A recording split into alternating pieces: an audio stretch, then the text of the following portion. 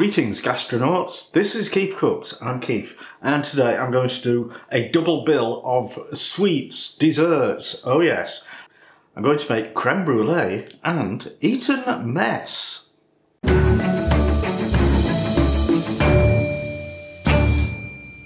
The Eton mess was requested by Mike P, and nobody wants the creme brulee, except I bet you do. You just didn't realise. Um, and in fact, I didn't realise until oh, what was it? Valentine's Day. We got um, one of these sort of ready ready-made meal deal things from uh, the supermarket, and we got creme brulees as the puddings, and they absolutely did ah amazing.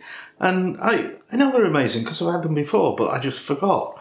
Um, so dead easy to make, and I'll do that first. Now, the reason I'm doing two desserts is that they're both dead easy, and they'll only take. If I did each one as a separate video, it'd be about three minutes long. To be brutally honest, three minute videos don't do it for me and my channel. Um, YouTube likes videos that are at least eight minutes long and longer if possible, so that's what I'm doing. If you want short little videos, there's Tastemade and people like that do a lovely job. Anyway, um, I'm waffling. That's what I do. That's why my videos are so long and entertaining. Anyway, I am waffling. If you enjoy this video, give it a like, share, subscribe, etc. And without further waffle, let's get on with it. But before we get on with it, let me just say, when you make creme brulee, you use egg yolks, and that means you have egg whites left over. And, you know, just about the best way to use up egg whites is to make meringue, and Eton Mess contains meringue. So it meshes together and you don't waste bits of egg. Okay, let's do it. Right, creme brulee. In French, it just means burnt cream.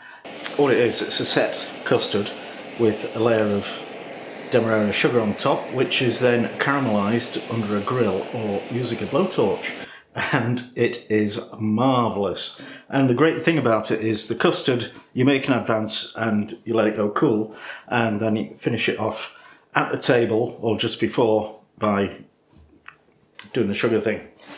300 ml of double cream, heavy cream, 15 grams of caster sugar, powdered sugar, three eggs, and a sploosh of vanilla or a scraping of vanilla pod if you're extremely wealthy or you know, just something vanilla flavoured. So, first thing to do is separate the eggs. Ah, not three eggs, three egg yolks. So we need to separate the eggs.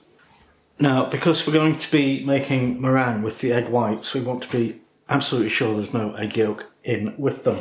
So we use a three bowl technique to separate the eggs. And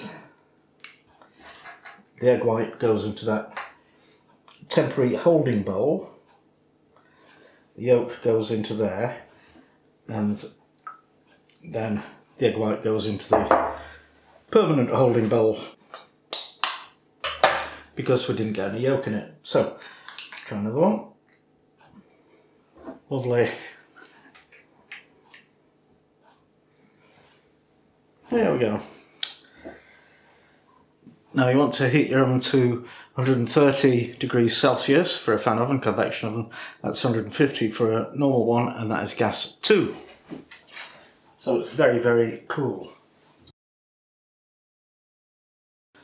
And then get yourself some ramekins. These aren't ramekins, these are actually the glass dishes that the creme brulees came in that I bought previously. And they're brilliant because they're wider and shallower than a ramekin, so you get more sugar crunch to egg custard. Oh yes. So get a big roasting dish, your two dishes. I might actually have enough to do three, we'll see. I put some hot water in. This is not boiling, but it's, it's just to kind of pre, pre-warm the dishes. So water just over halfway up and then we'll pop that in the oven.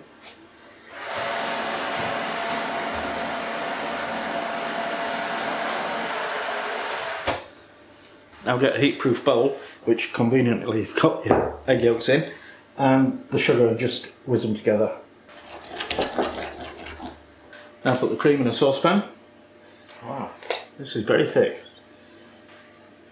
Oh, I bought extra thick cream which I shouldn't have done. So I think maybe I'll dilute it with a little bit of milk because this is going to be so insanely, actually almost unpleasantly creamy.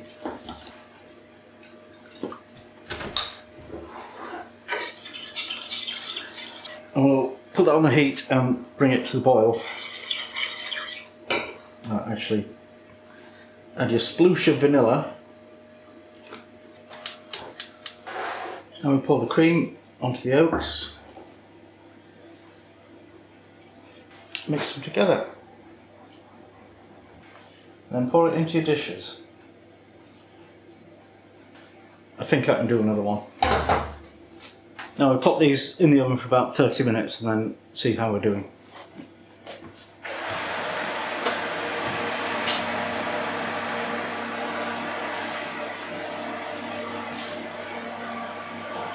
Alright, it's actually had 33 minutes, so let's see what we've got.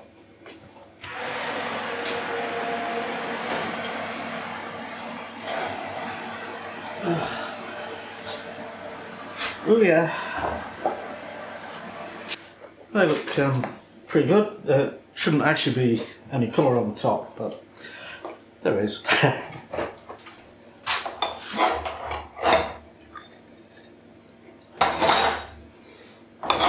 yeah, they're fine.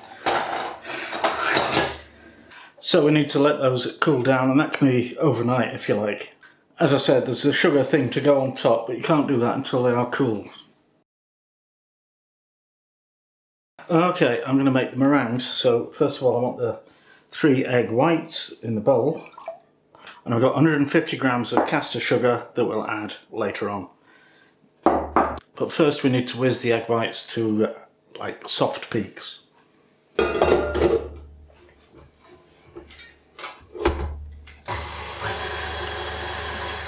Now I'm going to add the sugar a spoon at a time and wait for each spoon to be completely mixed in before you add the next one. And you'll end up with stiff peaks, white and glossy. Okay, we are there. So I've got baking sheet lined with greaseproof paper and I've got the oven preheating as before to 130, 152 and uh, I just spoon blobs of the meringue onto paper. Not bothering with anything fancy or decorative because it just gets smashed to bits in the Eton mess anyway.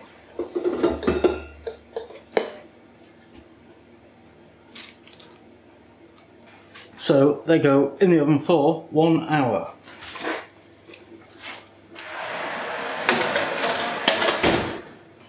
And at the end of that one hour, we'll just turn the oven off, maybe open the door a little bit, but not necessarily. You just want them to cool down really slowly. And in this case, it's going to be overnight because we're really not going to taste test two desserts in one evening, I promise you. Okay, I'm going to finish off the uh, creme brulees. So, teaspoon-ish of demerara sugar. Spread out evenly. And you can stick those under a grill or a broiler or get your blowtorch out.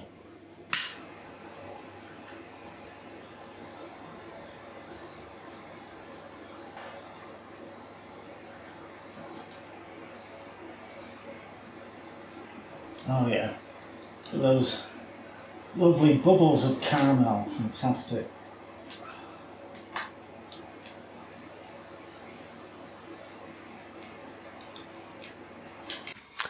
And now it's taste test time with uh, Mrs. Keef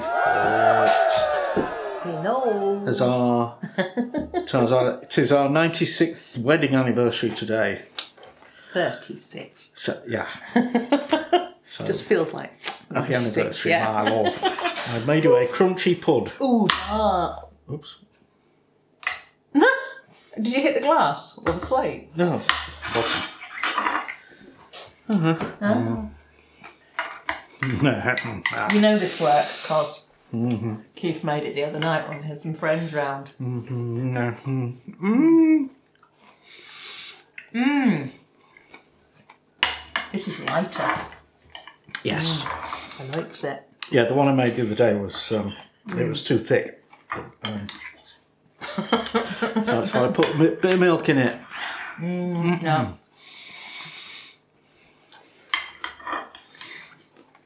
Honestly, that is so delicious and it's so easy to make. As you know, so get on it. Hmm. And tomorrow there will be Eton Mess. Ooh. Ah, yes. Because where there's that, there's going Yes, to be they go together. extra eggs. So tomorrow I'm going to finish off the Eton Mess and we'll have another taste test.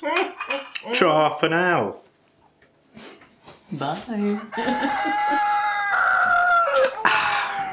All right, it's the next day, and we're going to make the Eton Mess. So, if you don't know what this is, it's a very simple dessert. It's just whipped cream and summer fruits like raspberries and crushed meringue chucked into it. It's named after Eton College, the posh boy school near Windsor, where prime ministers are forged in the white heat of knowledge, um, I suppose, something like that. And and it's just absolutely wonderful. There is no skill involved in making it whatsoever. I'm doing a version that's slightly healthier than the cream-based one. I'm using yogurt instead of cream, so I don't need to whip that. I'll just I can just use it as is. These are the meringues that I made yesterday.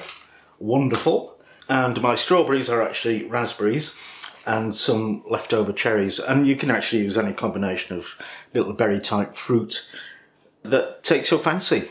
First thing to do is chop the fruit up and macerate it in some sugar, caster sugar. So I've saved some whole cherries and um, just actually ripped them to bits because they're, they're a little bit, well, somewhat overripe. I'm not going to do that to the raspberries. So the term macerate, it's it's just like marinade, uh, except for fruit.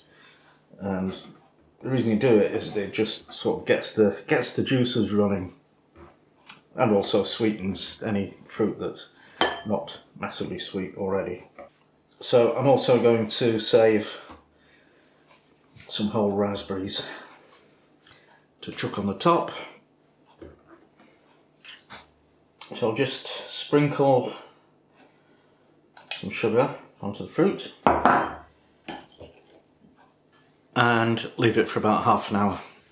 Now I'll just add some yogurt, probably about half of this pot. And mix it all together and it's perfectly okay to squash the fruit a bit while you're doing it. Actually I've seen some recipes where they stick it through a blender to make it really smooth, but uh, I'm not doing that. And now we can add some smashed up bits of meringue. You can't go wrong, really, can you?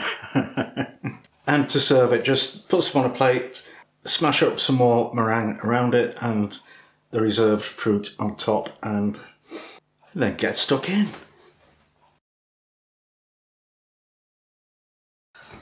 And now it's taste test time with Mrs. Keef Court, who's just come home trudging through the snow on this day, the 30th of March. Well, it's still falling. There was nothing to trudge through, but uh, I'm glad to be in out of it. Right. There you go. You've made a mess. I have. So, did you say you were going to make it with yogurt rather than cream? I made it with yogurt, and um, also I recommend avoiding those cherries. They're not nice. Yeah, you did say you weren't impressed. I had one the other day. No, I actually had two. One was actually nice and a bit bland. The other one was, yeah. Oh, this works. I haven't even started on the meringue. Meringue's amazing. I actually left it in from about what, four o'clock yesterday. Oh, you weren't here. Um, and didn't open the oven at all. Just turned it off after an hour, and opened them at about four o'clock today. So they've developed some serious chew in the mm. middle, but a nice splat Soft and crisp on the outside. front on the outside, mm. like they're supposed to be. Yeah. So yeah, we're doing mm. that thing again. Yeah, baby. Okay then. Very good. Second most easiest pud in the world after creme brulee. I mm. think. Or maybe both. I wouldn't know. I just eat them. All I know is I had creme brulee yesterday and I've got beef nuts today. Tomorrow you probably have diabetes. oh, that was uncalled for. Anyway, thanks for watching and see you next. Come on, you can do it. see you next time.